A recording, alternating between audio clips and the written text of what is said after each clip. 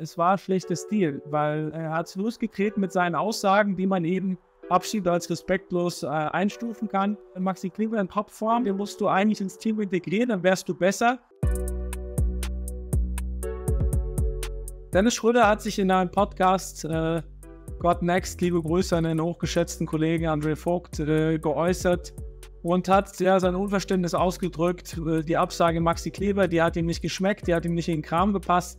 Und er hat aber dort Aussagen getroffen, die ja unterm Strich unprofessionell waren oder auch despektierlich ankamen, weil er gesagt hat, äh, er hätte gehört, Maxi Kleber hätte abgesagt, weil er an seinem Game arbeiten will. Also um das mal so ein bisschen zu übersetzen aus der Basketballersprache. Und da hat er gesagt, welches Game? Er hat kein Game. Äh, kurz zusammengefasst, er ist ein Rollenspieler, das stimmt.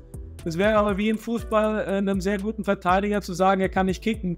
Also es ist schon so, dass es äh, zu Recht bei Maxi Kleber nicht gut ankam. Maxi Kleber hat darauf äh, reagiert mit einem Statement, die Äußerung unangebracht findet, aber daran merkt, dass er nicht uneingeschränkt willkommen ist im Nationalteam und deshalb seine WM-Teilnahme abgesagt hat. Angefangen hat es in der Vorbereitung auf die WM 2019 in China, die letztendlich sportlich äh, schlecht lief für die deutsche Mannschaft. Die beiden, und das gibt es ja im Mannschaftssport immer äh, wieder, kamen halt nicht besonders miteinander äh, gut klar. Es gab nach meinen Infos eben dann auch mal im Training einen Vorfall, wo Schröder, der ja schon sehr, sehr selbstbewusst immer den Anführer auch rauskehrt, äh, irgendwie so äh, Kleber angemacht hat, er soll jetzt mal ein bisschen äh, Gas geben oder ein bisschen besser verteidigen und dann standen die eben äh, ja, sich gegenüber, Auge in Auge kann man nicht sagen wegen dem Größenunterschied, aber sie mussten eben auseinandergezogen werden von ihren Teamkollegen. Also da gab es richtig Beef. Dann Kleber abgesagt, letztes Jahr offiziell übrigens nicht, weil er an seinem Spiel fallen will, sondern gesagt, nach diesen Jahren der Pandemie, äh, seit dem WM-Sommer 2019 anstrengende Jahre, auch in der NBA, braucht er eine Pause physisch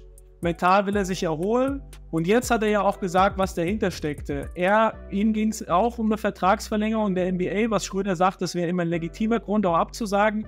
Er hatte äh, in den letzten Monaten der Saison eine Verletzung am Knöchel, ähm, die, ja, mit, mit der er weitergespielt hat. Schmerzstillende Mittel wahrscheinlich, so wie es auch oft manchmal ist, dass es gerade noch so geht. Und er merkt aber, ich muss die auskurieren und er wollte es aber nicht öffentlich haben weil es eventuell seine dann erfolgte Vertragsverlängerung in Dallas gefährdet hätte. Also insgesamt ist dieses 12er-Team, was letzte Saison ja wirklich eine begeisternde, letzte Saison eine begeisternde Heim-EM gespielt hat, schon auch so eine Art verschworener Haufen und äh, ja, da gehen die Ansichten sicher auseinander. Jetzt muss man aber auch dazu sagen, dass es, glaube ich, wahrscheinlich nicht den, äh, den Jungs geschmeckt hat, weil es eben am, am Ende dem gesamten Team schadet, dass das Schröder so öffentlich vorgeprescht ist mit eben ja, unterm Strich unprofessionellen Aussagen, weil er muss ja als Kapitän auch das Beste fürs Team wollen. Und wenn wir uns vorstellen, am Ende muss der Trainer das Team formen, aber Maxi Kleber in Topform, der seit sechs Jahren NBA spielt, ist nach ihm und mit einigen anderen äh, einer der besten Einzelspieler. Den musst du eigentlich ins Team integrieren, dann wärst du besser.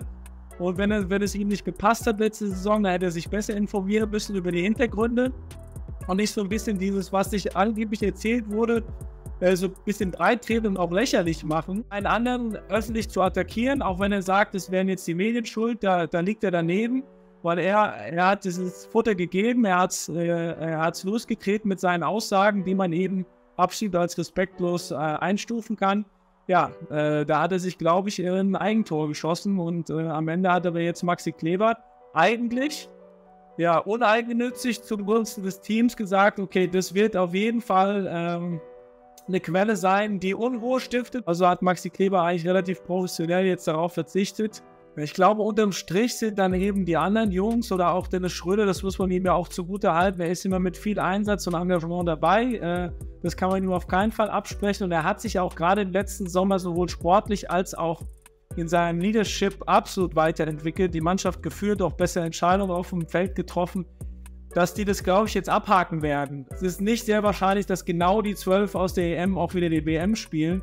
Und trotzdem denke ich, dass, äh, ja, dass das dann insgesamt professionell abgeschüttelt wird und die Mannschaft wieder einen guten Zusammenhalt haben wird. Und der eine oder andere wird aber trotzdem sagen, ja, okay, das war nicht okay von Dennis und äh, eigentlich hätten wir es, ja, mit einem Maxi Kleber in Topform oder der Trainer erschaffen müssen, eigentlich so einen, so einen guten Spieler, der im Übrigen eigentlich kein schwieriger Charakter ist und der sich, glaube ich, gut eingefügt hätte, äh, auch da wieder zu integrieren.